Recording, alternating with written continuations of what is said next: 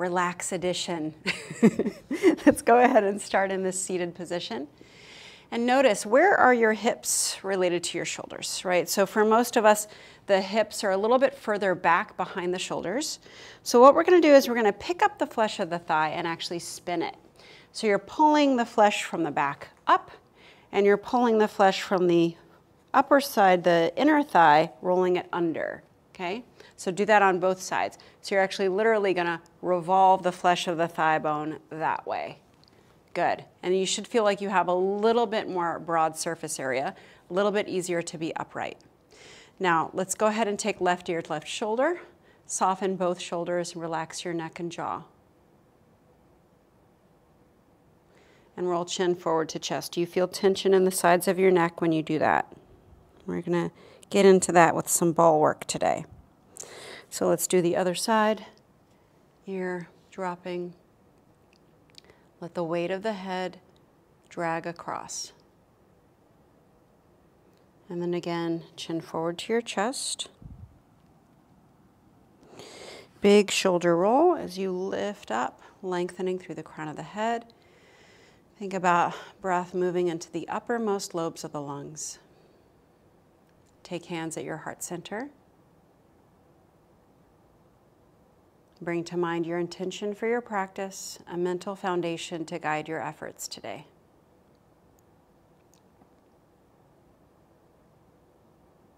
And then I'm going to have you release and put your fingers, the first two fingers, on top of your collarbones.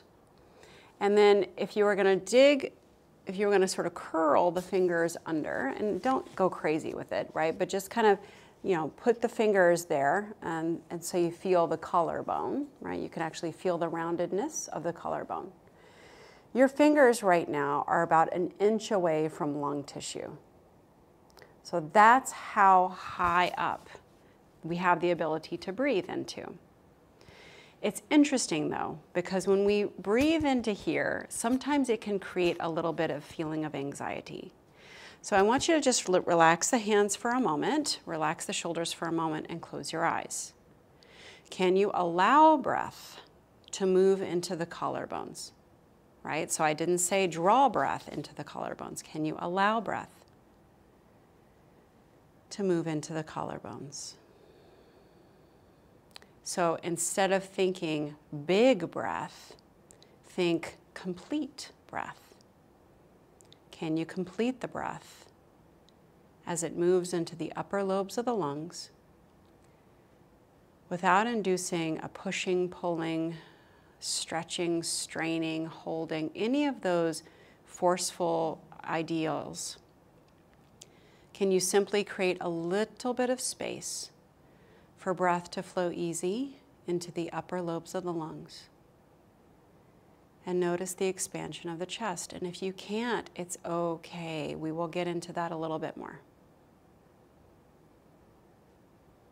All right, switch your feet, and we're gonna breathe a little bit differently before we get a rolling. so we're gonna take the hands behind you, and you're gonna try to stuff your thumbs back there so that they come close to the spine. So I round a lot to get my hands high, and then I'm gonna roll the shoulders back and squeeze the elbows just a little bit more toward one another. So just from this position, you might notice that there's a little bit of stretch in the chest and a little bit more ability to uh, puff your chest with your breath. So now we're gonna try to breathe into the thumbs more than the fingers, right? So the fingers are wrapped around your sides. The thumbs are working toward your spine. So now we're going to try to bring breath into the thumbs and actually bring breath there so that it moves the thumbs. Is one thumb moving more than the other? Is one side of the rib cage a little bit easier to expand with breath than the other? If you're like a normal person, the answer is yes, right? We have a little bit of imbalance between the right shoulder and left shoulder, and it affects our breathing. Also the hips.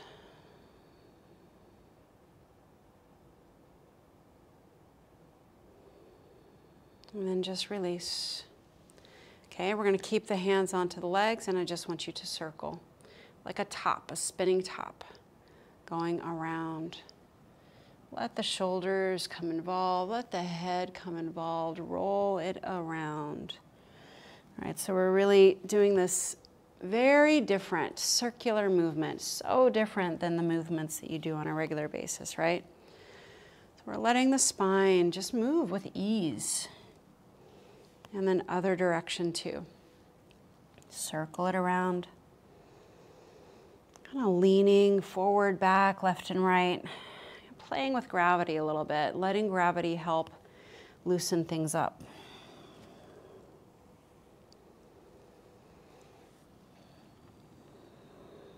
And then come back to center, pause once again.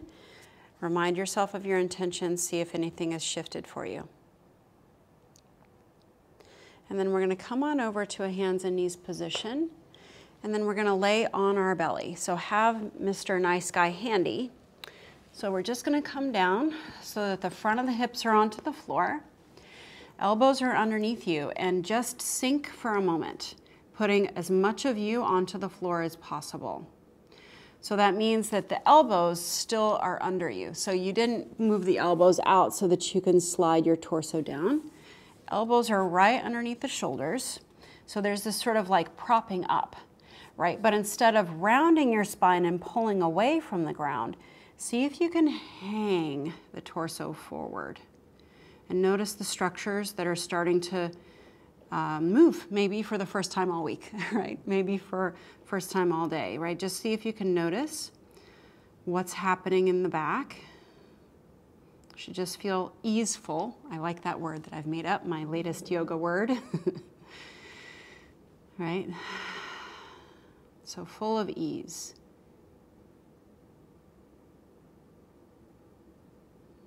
and then go ahead and come up. And you're gonna pick yourself up now a little bit. So instead of sinking your chest, you're gonna pick yourself up and you're gonna slide the ball to where the, um, the rib cage comes together. And then you're gonna move the ball just in front of that. So we're not actually at that intersection of where the rib cage comes together. We're a tiny bit higher. Now, elbows are still underneath you. Press the elbows down, down now. Press the palms down now. And think about lifting the very crown of the head up and away from the ball. And just see if you can notice. This is sort of like a, a propped up sphinx or a propped up, uh, um, what is it, uh, cobra pose, right? So it shouldn't feel like you're squishing your guts, right? So we're closer to the chest than the belly right? So you can always slide back a little bit if you feel like it's underneath your guts. So it should not be on your stomach. It should be like right on the very start of your breastbone. And then you're lifting your chest up. Okay, so I'm taking a while talking you through this because it takes a moment for this stuff to work. So just hang out for a moment. Think about lifting the back of the head to lengthen the, the back of the neck.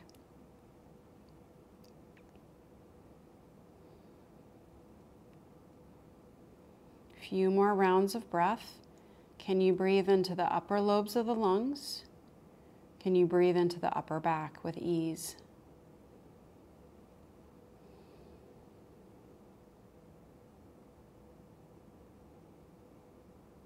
And then take the ball out of the way and rest your head on your hands.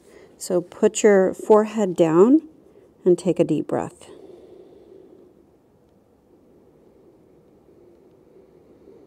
Can you feel the breath moving easily into your lower back now? You've created space for that breath.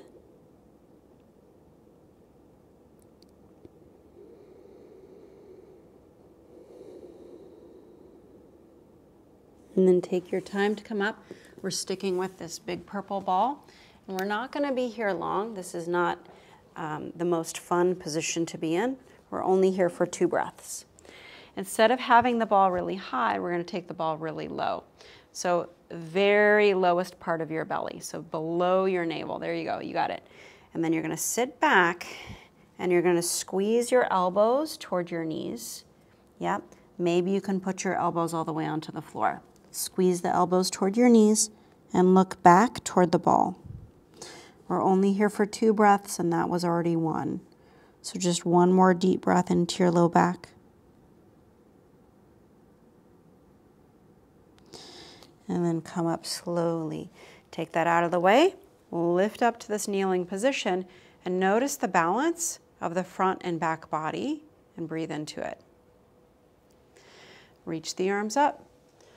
Extend, extend through the sides, spreading the fingers, tiny little back bend shape, really just to lift the front of the hips. And then exhale, release. We're going to take both hands over to the right. So when you take both hands over to the right, you want to stack the left hand on top. Both arms are straight. And then sit back with your left seat tapping your left heel. So stretch back.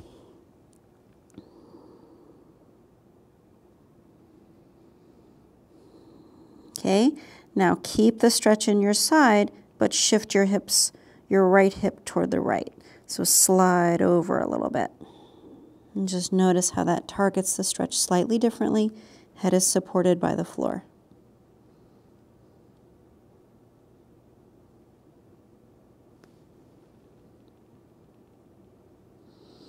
And then come on up, hands and knees, single cat-cow, round and release.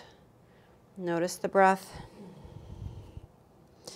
Let's do the same thing on the other side. Both hands walk over. Right hand glues on top of the left one. And then you're going to lean your hips over to the right. Head to the floor.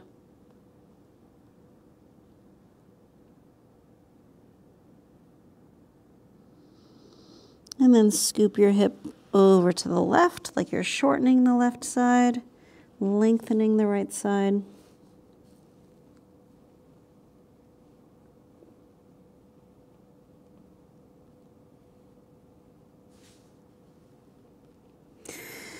And then coming back up, single cat-cow, round release. And let's stretch it out to puppy pose, hands forward. Hips are gonna stay over the knees now as you melt the upper back.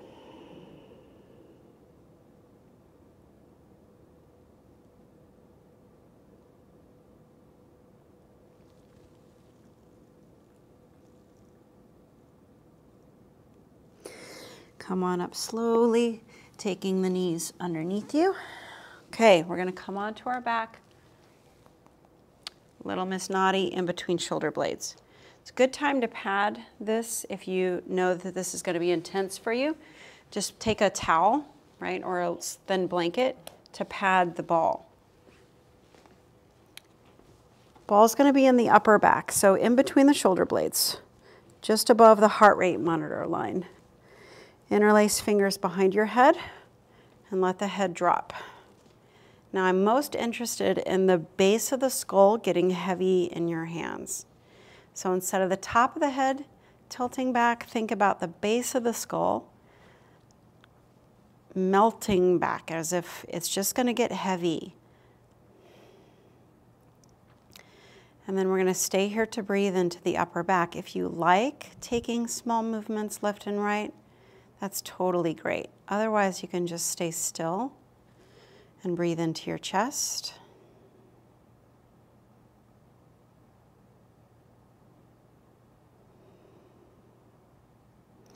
Let's take the ball up one inch, just a little higher.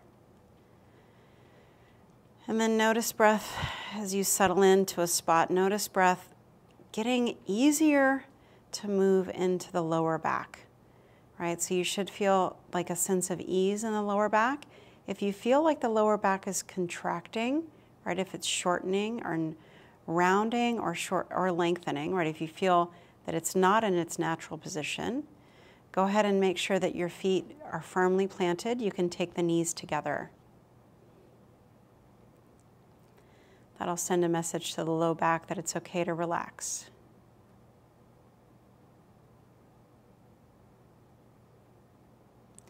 And then up just one more inch. So we're not on the neck, but we're pretty close. We're very close to the uppermost part of the shoulder. And then once again, feet together, knees apart. Making sure that the low back is just completely relaxed. There's no tension there.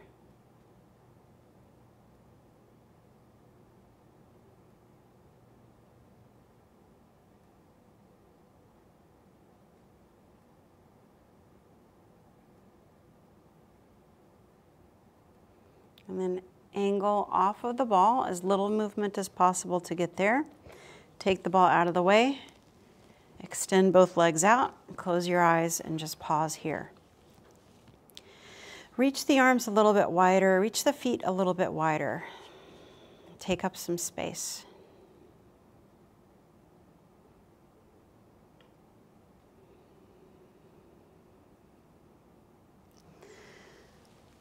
Okay, Mr. Nice Guy, the big purple ball. We're going to use this for the lower back. So bend the knees, feet onto the floor. We'll lift the low back and take it onto the sacrum. So it's a lot further down than you think. First, let's draw the knees in. And it should feel like the, the ball is going to shoot out from underneath you. Right, so instead of balancing on the ball, the ball should feel like it's going to shoot out from underneath.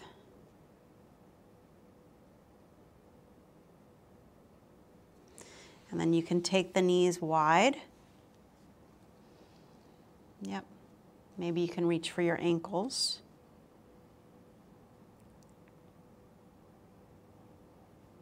So this is kind of like a supported upside down child's pose, right? But you have the opportunity for your upper back to lengthen on the floor. Okay, so a little bit of movement, just a sense of play, right? I realize that we're balancing on a ball, right? So go ahead and slowly, mindfully shoot your feet nice and wide. So we're doing an upside down straddle split. Hands can come onto the inner thighs or they can stay closer to the calf muscles. And again, see if you can lengthen the upper back. And just notice, is there a sense of gripping, holding, pushing, or pulling? And make your movement a little smaller so that that's not happening. There's just a sense of opening up, a sense of lengthening, a sense of ease behind the movement.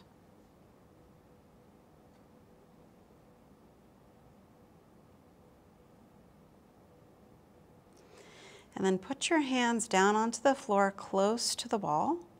And you're going to keep moving your legs away from you. They're still wide, Move them away from you. They're eventually going to come together.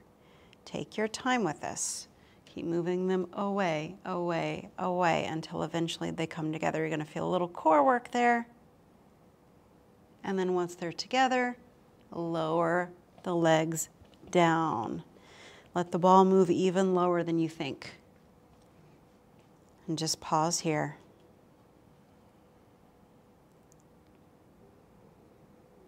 Deep breath into your low belly, space for your low back. And then bend the knees, feet onto the floor, and let's just switch, swish hips left and right. You can take the ball a little higher if you want so that it's more on the glute muscles when you swing left and right.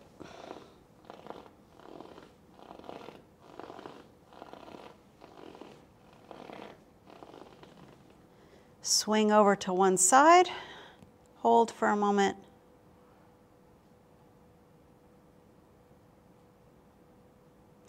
And then swing over to the other side and hold for a deep breath.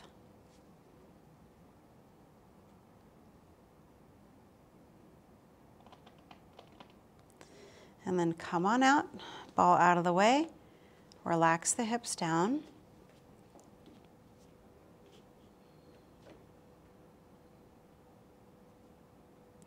Are you aware of your feet, the center of your feet?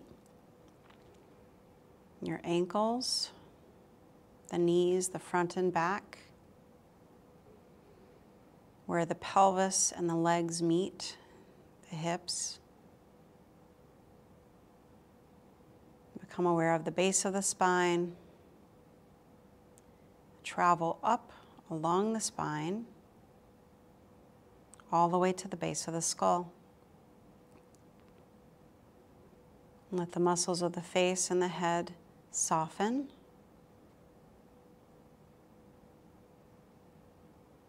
Notice that feeling of being grounded.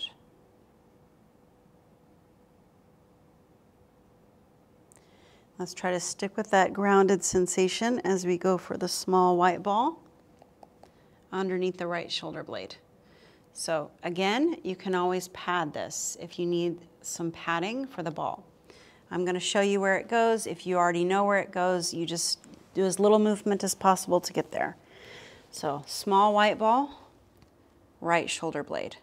So it's not on the shoulder blade, but it's pretty dang close. So in between the right side of the spine and shoulder blade. Now right arm extended straight up into the air and drag your right knee over to the left. So bend your right knee, right? So it's in a 90 degree angle. Use your left hand to tug the knee across. So you feel how that rolls you away from the ball, right?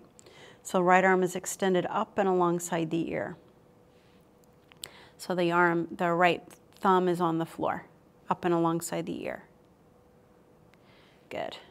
So take a deep breath. Imagine getting long. Draw length in your right side. Now reach your right arm slowly out to a T position. Maybe the fingers can stay onto the floor to do that. Reaching it slowly out to the right. Take your time, opening up the shoulder to get there. No rush. Don't push or pull. Don't move through pain.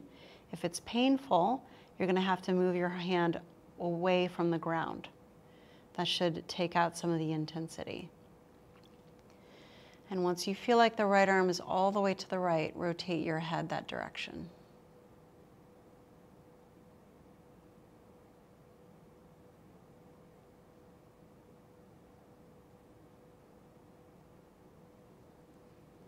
Breathing into both sides, lengthening both sides.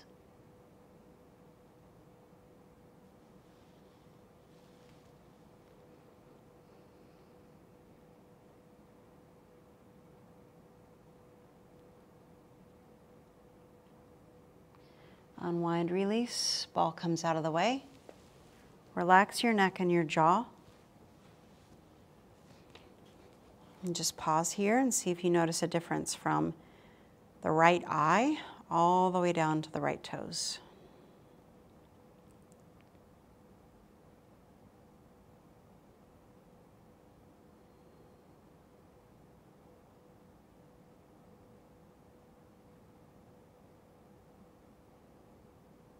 Let's do the other side. So we'll take that little, uh, the little white ball, left shoulder blade. So it's in between where the spine and the shoulder blade meet.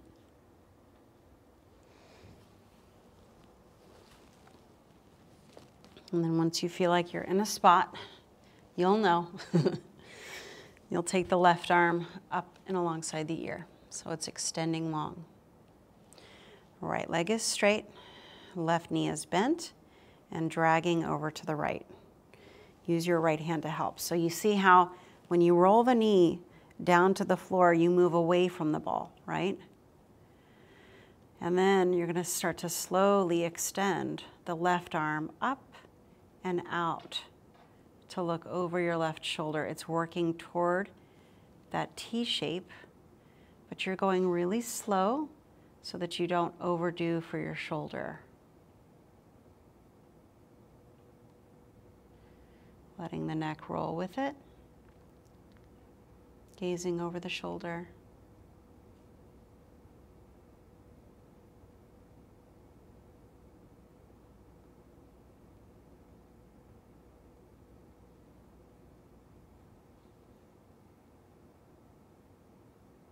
Extend through the chest.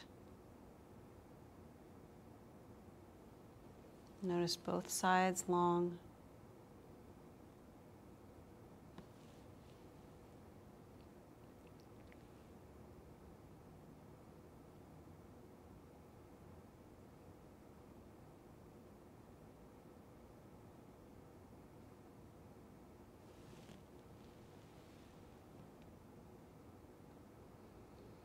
And then slowly unwind and release once again. Ball comes out of the way, as little movement as possible. And settle the body.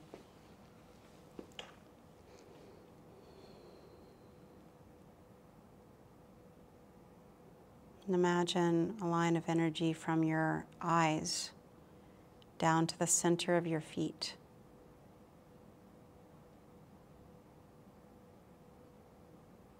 Imagine if that channel was open, you could breathe up and down it.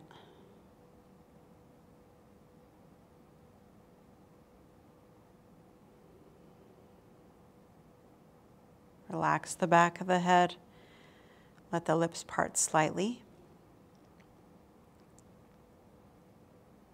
Imagine the molars of the upper palate of the mouth, the roof of the mouth, getting heavy.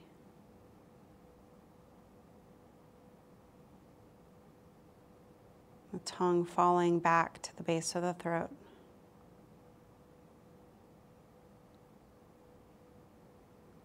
A sense of space in the sinuses around the eyes, around the nose.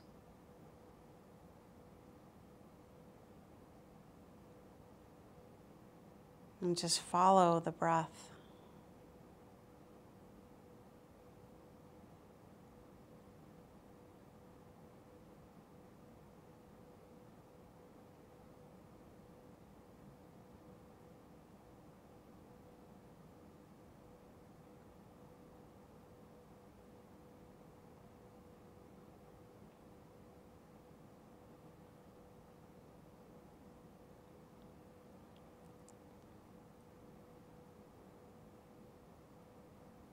Begin to notice if the mind begins to get active as you lay here in stillness. And then notice what it feels like to complete a breath. Put your awareness in the completion of the breath.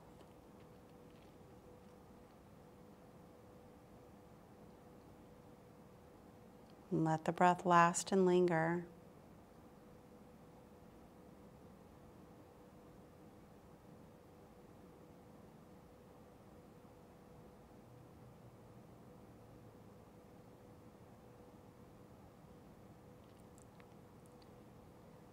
What does it feel like to complete a breath without a sense of pushing, pulling, grasping, or holding?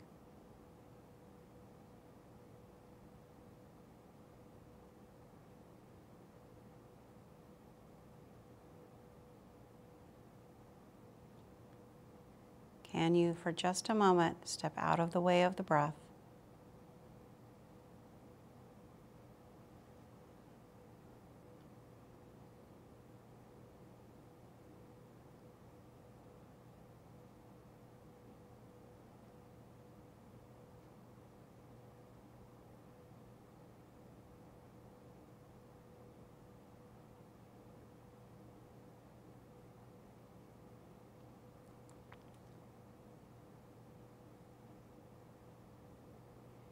Can you linger at the base of the exhale?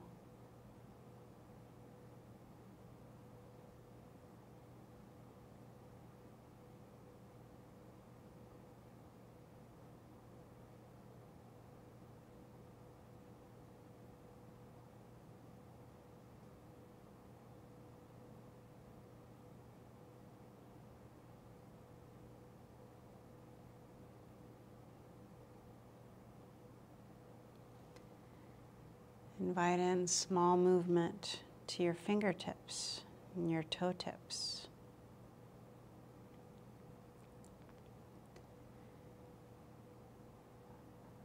And then rotate your wrists, rotate your ankles.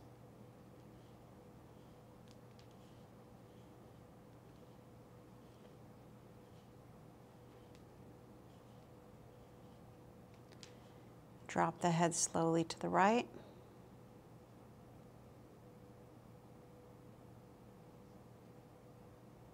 Open and close the jaw once you arrive.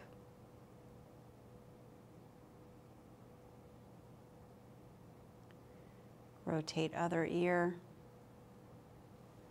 Once the head feels as, as heavy as it's going to get, open and close the jaw.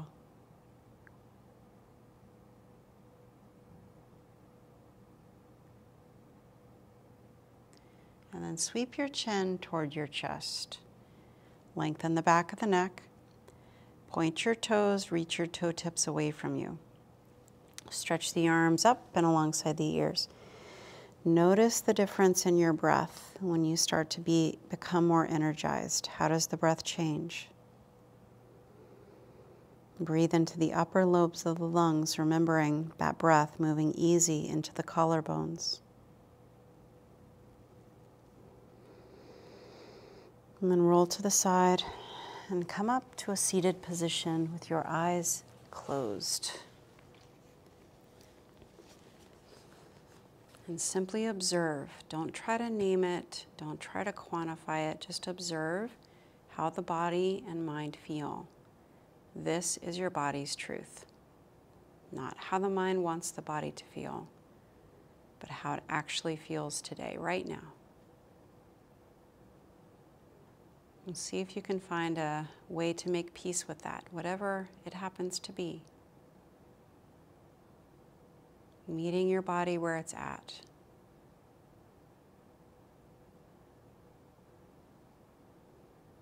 Place your hands together at heart center.